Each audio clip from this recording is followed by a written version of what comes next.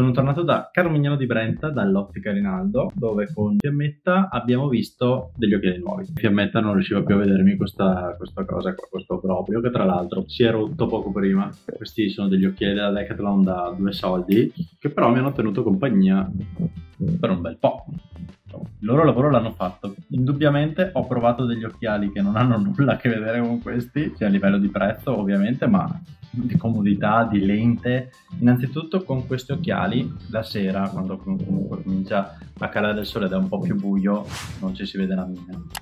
E qualcuno dirà, ma allora non indossarli? Significa che non è mai andato a correre d'estate. Comunque in bicicletta stare senza occhiali è molto difficile.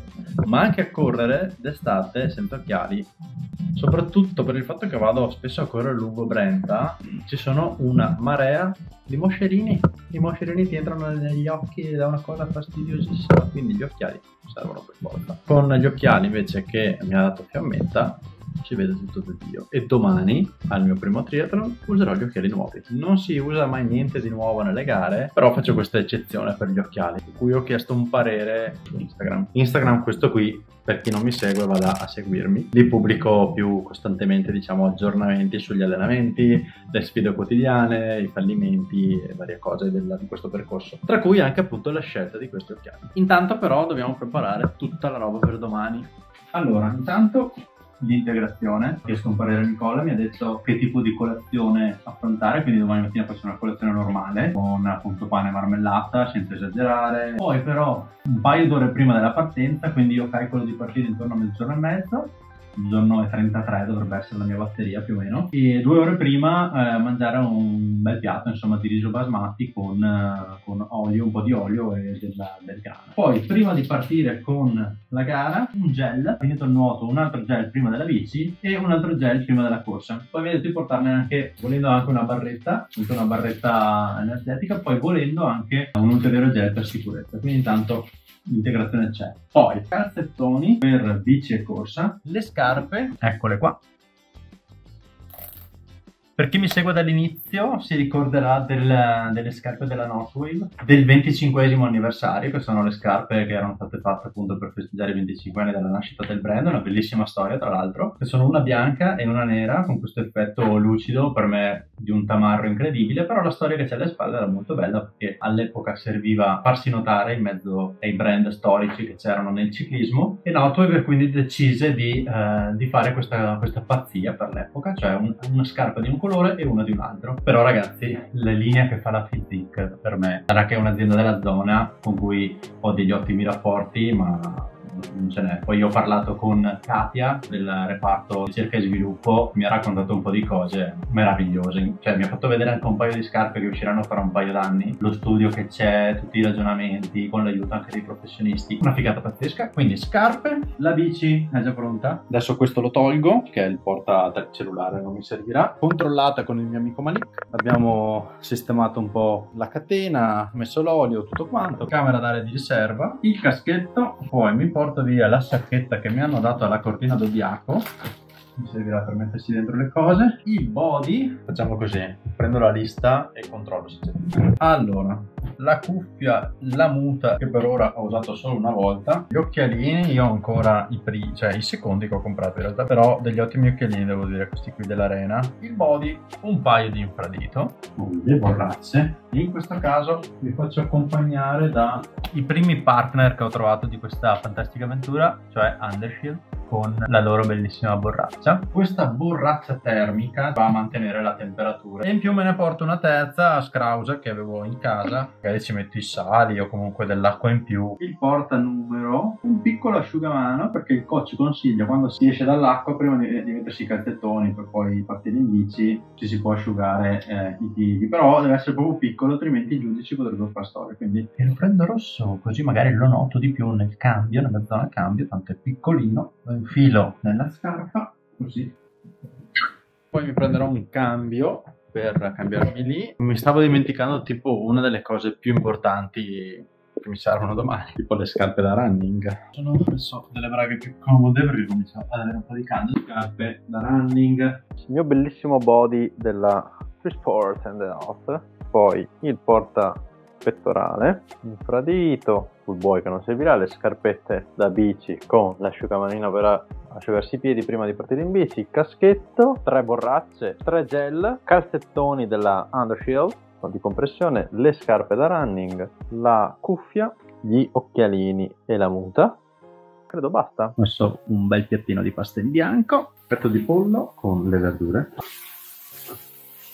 Questa è la cena che mi ha consigliato Nicola. The next morning. Direzione Bardolino, triathlon olimpico, quindi sono 1500 di nuoto, 40 di bici e 10 di corsa. Ore 9.20 dovremmo arrivare. Ritiro del pettorale, alle 10 il bike check-in, andiamo a mettere i numerini sulla bici, sistemare la bici, eccetera. Poi si mangia qualcosa, poi alle, a mezzogiorno e 33 dovrei partire con uh, le mie tifose preferite qua che mi seguono.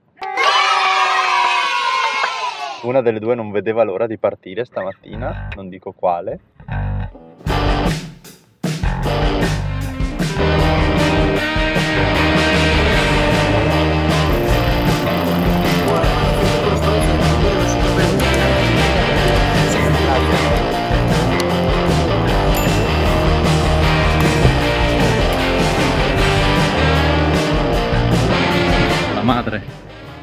Madre oggi?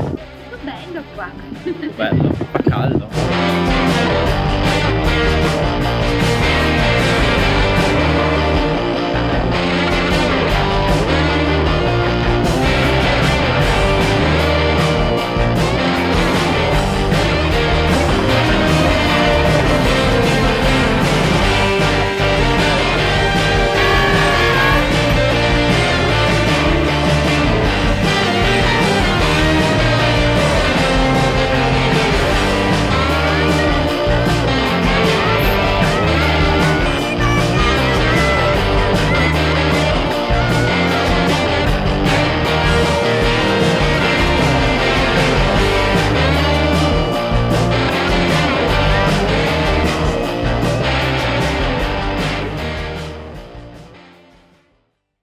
Raggiunto anche questo obiettivo importante in preparazione all'Ironman. Devo dire che mi sono divertito molto.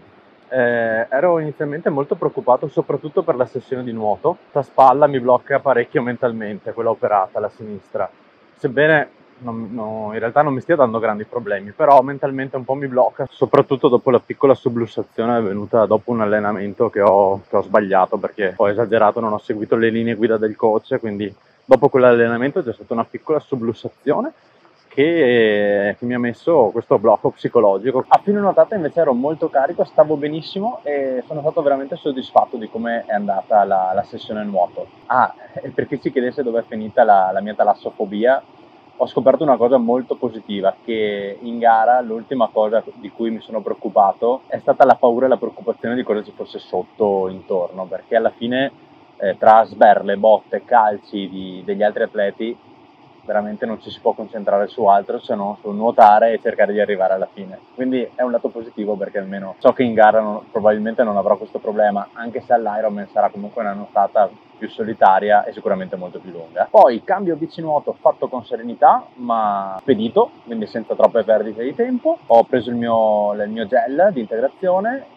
ho bevuto e sono partito con la mezza corsetta per, per arrivare fino alla, alla, linea dove potevo salire in sella. E mi sono goduto il giro in bici perché il giro in bici è stato veramente molto bello, bellissime le zone attorno a Bardolino, al lago di Garda. Nel cambio bici corsa invece mi sono accorto di aver fatto degli errorini veramente stupidi. Il più importante, per esempio, è il fatto di lasciare le scarpe da running allacciate ho perso 5 minuti solo per slacciare le scarpe, mettermi le scarpe e riallacciarle. Quindi questa è una cosa che sicuramente posso e devo evitare. Poi la corsa di per sé è andata molto bene, tanto caldo, veramente tanto caldo. È stata più l'acqua che, ho, che mi sono rovesciato in testa di quella che ho bevuto, però al traguardo ho capito che avevo ancora parecchia, parecchia, insomma avevo ancora abbastanza energia in corpo, quindi avrei potuto spingere un po' di più. E tra l'altro, fun fact, fosse arrivato qualche minuto prima, circa 6 minuti, mi è stato detto, sarei potuto arrivare a traguardo con Luca Parmitano, la, l'astronauta, quindi quanto figo sarebbe stato arrivare con un astronauta al traguardo, e invece me lo sono perso per qualche minuto. Perciò ecco, primo triathlon portato a casa,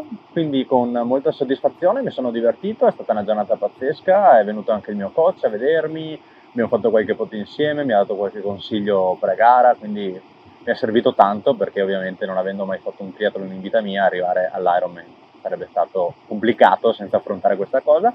Ecco, l'unico piccolo rammarico che mi resta è che a differenza della Cortina d'Obbiaco dove mi hanno dato una medagliona gigante come, come ricordo, qui invece non mi hanno dato nulla, se non una bandana di promozione di un 70.3 da qualche parte, quindi di un mezzo Ironman da qualche parte, però è stato un peccato, mi sarebbe piaciuto avere un bel ricordo, una bella medagliona da appendere insieme alle altre, però vabbè, resterà un bel ricordo. Grazie per aver guardato il video fin qui, grazie mille a tutti per il supporto, a chi è iscritto al canale, a chi non è iscritto invece lo faccia, molto semplice ma mi aiuta tantissimo e per chi vuole mi può anche seguire su Instagram, questo qui, dove pubblico quotidianamente insomma vari aggiornamenti sulle sfide, gli allenamenti, i fallimenti, le, le cose che faccio insomma in questo, in questo percorso. Ci vediamo nel prossimo video, buona giornata, ciao a tutti! Música